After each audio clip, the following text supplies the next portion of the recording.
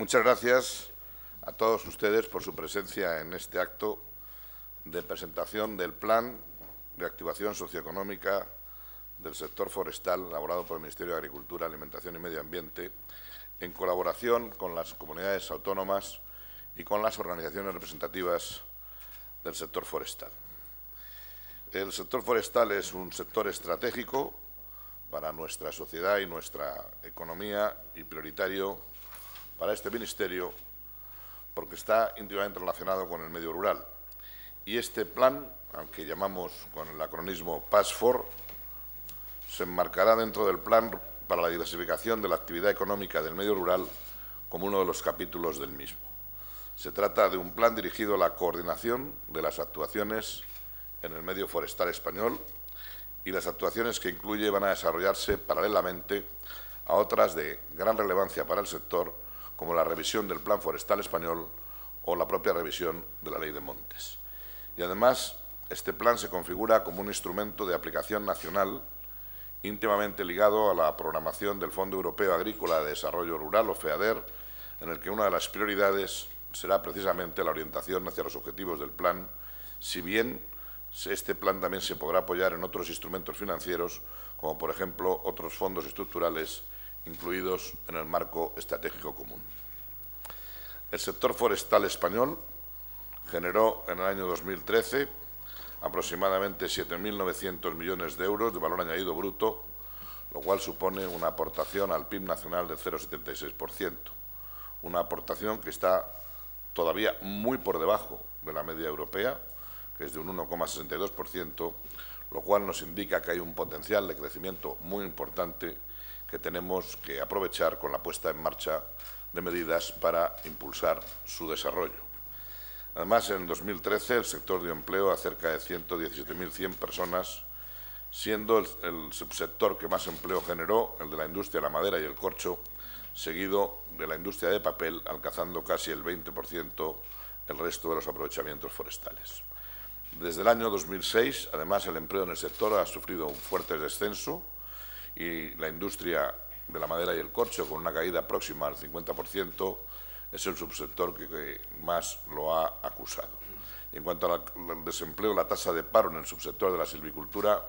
es del 25,4%, que es muy similar a la tasa de paro del sector agrario. La industria, tanto de papel como de madera y corcho, tiene una tasa de paro muy por debajo de la media nacional, con porcentajes del 6,8 y del 12,8% respectivamente. La superficie forestal española es de 27.700.000 hectáreas, y ocupa el 54,8% de la superficie nacional, que es una cifra muy superior a la media europea. Y de esta superficie, 18,7 millones de hectáreas corresponden a bosques. Somos, por lo tanto, el tercer país de la Unión Europea en superficie arbolada, solo por detrás de países como Suecia o como Finlandia. Por otro lado, la situación geográfica de nuestro país y su compleja orografía lo que hacen es eh, conferir una gran diversidad a nuestros ecosistemas forestales.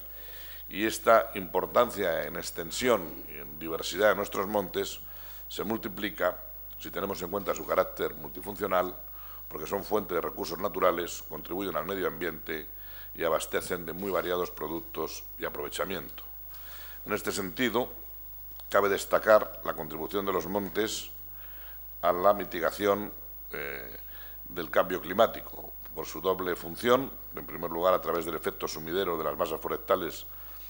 que capturan CO2, de forma que la gestión forestal de los bosques y el aumento de su productividad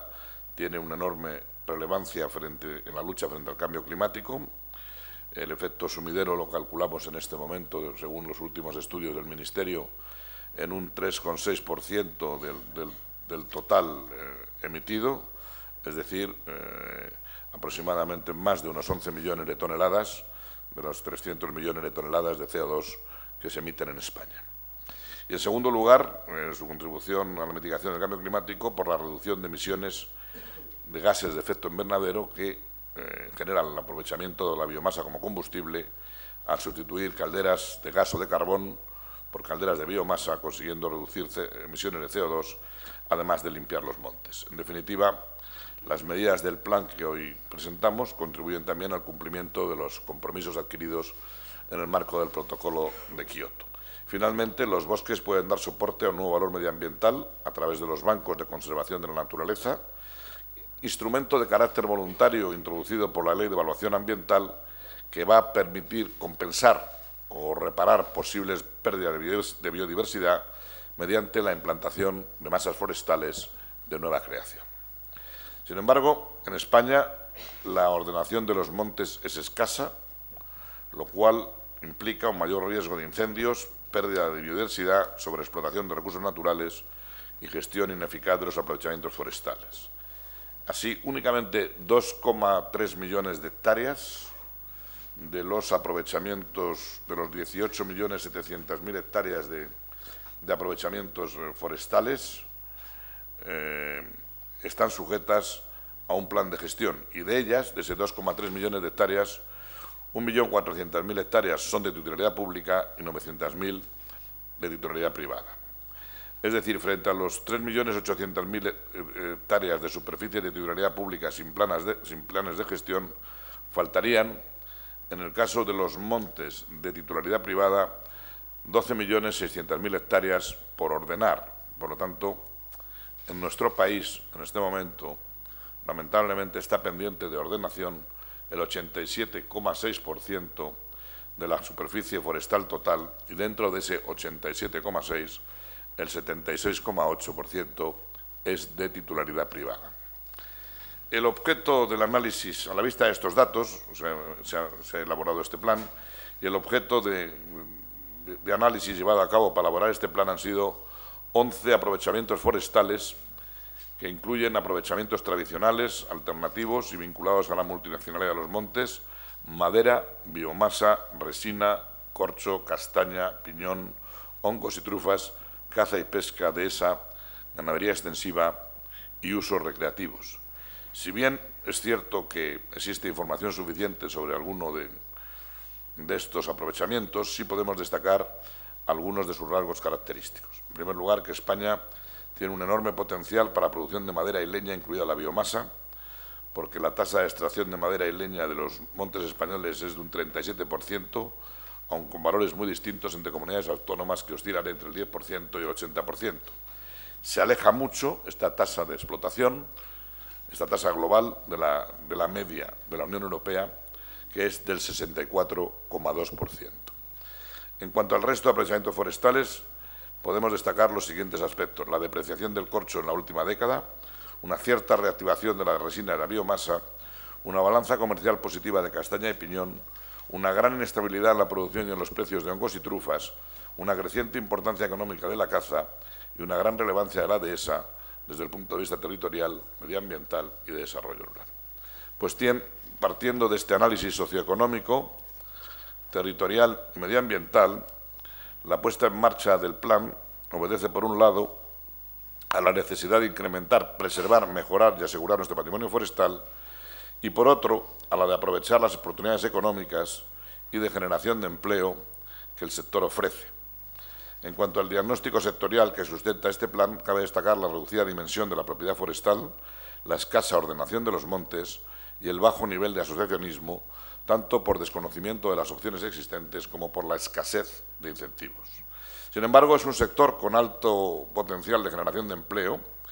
porque por cada millón de euros invertido en actividades forestales se pueden crear 32 contratos anuales. Una de las realidades que se han puesto de manifiesto ha sido la necesidad de mejorar y perfeccionar las fuentes de información tanto de producción como de comercialización de los productos forestales. El mundo forestal es aún poco conocido por buena parte de la sociedad española, sin que los consumidores tengan conocimientos suficientes sobre los sistemas de certificación y gestión sostenibles, lo que limita tanto la demanda como la adecuada remuneración de los aprovechamientos forestales. Y en cuanto a la normativa aplicable, se aprecia una gran heterogeneidad entre legislaciones autonómicas y determinados vacíos legales y la necesidad de modernizar algunas normas de ámbito estatal, como la Ley de Montes. Finalmente, el análisis de distintos productos y aprovechamientos forestales demuestra que el coste de explotación de los montes y de obtención y transporte de productos forestales es elevado, tanto por muchas veces por tasas municipales, por escasez de servicios o por dificultad de acceso a los propios montes. Y por otro lado, la competencia de los productos provenientes del, exterior, la inestabilidad de los precios y la demanda insuficiente en nuestro mercado, pues hacen necesaria también la puesta en marcha de medidas estructurales para dar un impulso socioeconómico a este sector. Así, los objetivos establecidos en el plan son el resultado del diagnóstico que acabo de resumir. Están muy vinculados todos ellos al desarrollo rural y se pueden resumir en los ocho siguientes. En primer lugar, mejorar la renta de explotaciones y empresas. En segundo lugar, aumentar las explotaciones ordenadas. En tercer lugar, aumentar la dimensión de la propiedad forestal para lograr superficies económicamente eficientes. En cuarto lugar, como no, incrementar el número de empleos. En quinto lugar, aumentar la demanda de los productos forestales. Incrementar además el valor añadido de los productos forestales. Contribuir a la diversificación del medio rural y mejorar las condiciones de vida en el mismo. En definitiva, se trata de impulsar la diversificación de la actividad económica de los municipios rurales, mejorando así las condiciones de vida de sus habitantes y, en particular, los vinculados más directamente con la actividad forestal. Para avanzar en el cumplimiento de estos grandes objetivos, se han identificado 85 medidas concretas. De ellas se considerarán prioritarias, en primer lugar, todas aquellas que dentro de la programación del FEADER contribuyan a preservar el medio ambiente y a prevenir y a mitigar el cambio climático. A este respecto hay que señalar que el actual periodo de programación 2007-2013, el, el, porcentaje de fondos FEADER asignado a las medidas forestales ha sido del 15,7% en el territorio nacional. Nuestro objetivo en el periodo 2014-2020 es lograr mantener o aumentar este porcentaje, lo cual debe ser relativamente fácil teniendo en cuenta que a partir de ahora será obligatorio dedicar al menos el 30% del FEADER a medidas que contribuyan a preservar el medio ambiente y a prevenir o mitigar el cambio climático. En segundo lugar, el segundo grupo de medidas serán las que promuevan la valorización energética de la biomasa, fundamentalmente para uso térmico en el medio rural y en edificios de uso comunitario. Asimismo, al igual que ocurre en el sector agroalimentario, para concentrar oferta de gran dimensión, serán prioritarias las medidas orientadas a impulsar el asociacionismo y las organizaciones de productores para la movilización de productos forestales. Y, por último, se dará especial importancia a apoyar la transformación, la diferenciación y la diversificación de uso de los aprovechamientos forestales para aumentar su valor añadido y el nivel de demanda. Las 85 medidas planteadas se dividen en dos grandes categorías. Aquellas que son iniciativa de las Administraciones y las que deben ser desarrolladas principalmente por el sector. Las de ámbito público incluyen el diseño de la programación de los programas de desarrollo rural para el periodo 2014-2020, cofinanciados por el FEADER. Además, el Ministerio y las comunidades autónomas nos hemos comprometido a desarrollar normativas y directrices en cuanto a propiedad forestal, planificación y gestión sostenible de terrenos forestales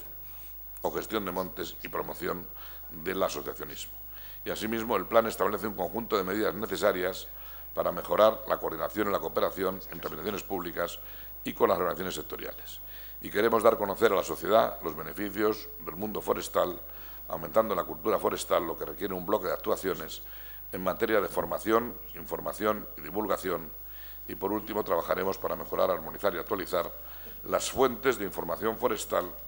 que constituyen la base de la toma de decisiones estratégicas adecuadas en este ámbito. En cuanto a las medidas en las que la iniciativa corresponde fundamentalmente al propio sector, se agrupan en dos grandes ámbitos de actuación. El primero, destinado a mejorar la movilización y utilización de todos los aprovechamientos forestales mediante el asociacionismo, la mecanización, diversificación, comercialización e innovación. Y en cuanto al segundo, se trata de medidas destinadas a mejorar la formación y cualificación de los trabajadores, favoreciendo la capacitación profesional para mejorar la productividad y la competitividad de las empresas del sector. El plan tiene una duración de siete años, como no podía ser de otra manera, para que coincida con el periodo de programación del marco financiero plurianual de la Unión Europea 2014-2020. Y durante este periodo se realizará un seguimiento de su aplicación, creando un comité que será responsable de la evaluación de la puesta en marcha de las actuaciones y de la consecución de los objetivos establecidos. Con los indicadores de seguimiento establecidos, se llevará a cabo una evaluación intermedia a los tres años de entrada en vigor y en el 2021 haremos una evaluación final para valorar los progresos realizados en cada uno de los objetivos del plan. Para terminar, quisiera destacar que lo que hoy presentamos es fruto del trabajo conjunto del Ministerio con las comunidades autónomas y con el sector. Y han contribuido también otros ministerios para enriquecer y mejorar el texto. A todo el mundo le agradezco su participación, el interés y entusiasmo con que han trabajado para abordar una tarea tan importante para el medio ambiente y la economía nacional como es la activación socioeconómica del sector forestal. Yo con eso quedo a disposición de los medios de comunicación junto con mis colaboradores por si tienen alguna pregunta en torno a este plan. El plan completo se colgará en la página web del Ministerio porque tiene muchas medidas concretas y sobre todo tiene mucha información consolidada del sector forestal en un único documento que no es fácil eh, encontrar y su puesta en marcha pues es inmediata porque eh, nosotros a partir de este momento con las comunidades autónomas en, el marco de la elaboración de la planificación de todos los programas de desarrollo rural autonómicos y nacionales, incluso el programa de las acciones de innovación que también se están poniendo en marcha por parte del Ministerio, pues tendremos que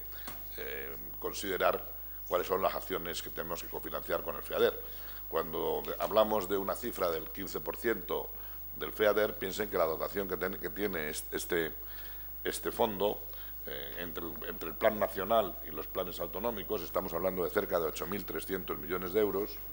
por lo tanto, 8.300 millones de, financiación comunitaria, pues calcule que el 15% pues son cerca de 1.400, más la cofinanciación nacional, y estamos hablando de movilizar recursos muy próximos, muy próximos eh, a los 2.500 millones de euros. Tanto tendremos que hacer una planificación que sea inteligente, coordinada entre todas las administraciones públicas y que realmente sea efectiva en la dinamización del sector forestal. Tanto es un plan que en este momento no tiene adjudicado presupuesto concreto porque las 17 comunidades autónomas y el Gobierno de la Nación, en sus planes de desarrollo rural, tendrán que financiar estas acciones. Y además, hay oportunidades para en otros fondos estructurales como el FEDER eh, poder también utilizarlos, eh, aparte que el Fondo Social Europeo en la parte de capacitación y formación profesional también lo podemos utilizar. Tanto estamos aspirando a movilizar recursos en la banda de los 2.500, 3.000 millones de euros en los próximos años para concentrarlos en, en modernizar un sector que tiene que cumplir muchas funciones económicas, sobre todo algunas vinculadas al cambio climático para seguir siendo un sumidero efectivo de carbono, lo cual requiere pues, una gestión forestal inteligente.